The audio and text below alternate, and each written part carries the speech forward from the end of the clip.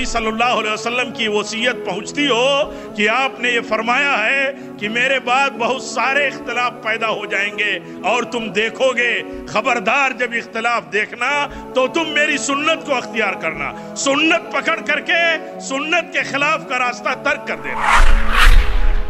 انسان کو اس کے محبوب من پسند چیز حاصل ہو جائے اور نقصان دے اور جو چیز اس کو پسند نہیں وہ اس سے مثال کے طور پر ایک انسان کو صحت ملنا جیسے نعمت ہے، ویسے بیماریوں کا، مصیبتوں کا، پریشانیوں کا، اس سے دور ہونا یہ بھی اللہ تعالیٰ کی نعمت۔ کسی مسلمان کسی کو گالی نہیں دینا۔ صحابی کہتے ہیں، اللہ کی قسم، میں نے جب اللہ کے سے بیعت کر لیا، انسانوں کو جانے دے، کہتے ہیں، اللہ قسم، میں نے کبھی جانوروں کو بھی گالی نہیں دیا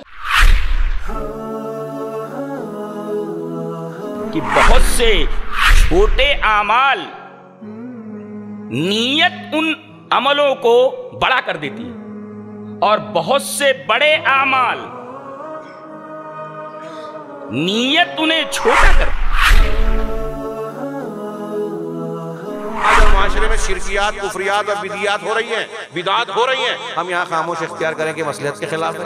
جو ہم کر سکتے ہیں، جو نبی کا طریقہ ہے، ہم اس کو چھوڑ دیں۔ جو نہیں کر سکتے، جو نبی کا طریقہ نہیں ہے، اس کو اختیار کریں۔ یہ ہے تحریریت یہ ہے اخوانیت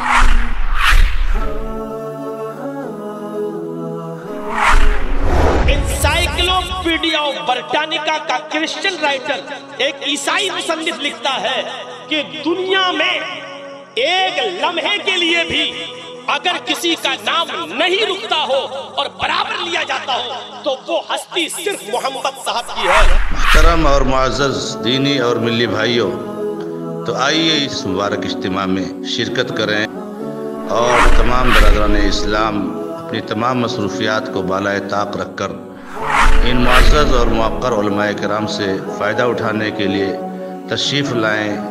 مسئلہ Anjuman Islam high school ground انشاءاللہ تبارک و تعالیٰ، اللہ تبارک و تعالیٰ آپ کے لیے علمی اور تربیتی راستے کو ہمار بنائے گا السلام علیکم ورحمۃ اللہ وبرکاتہ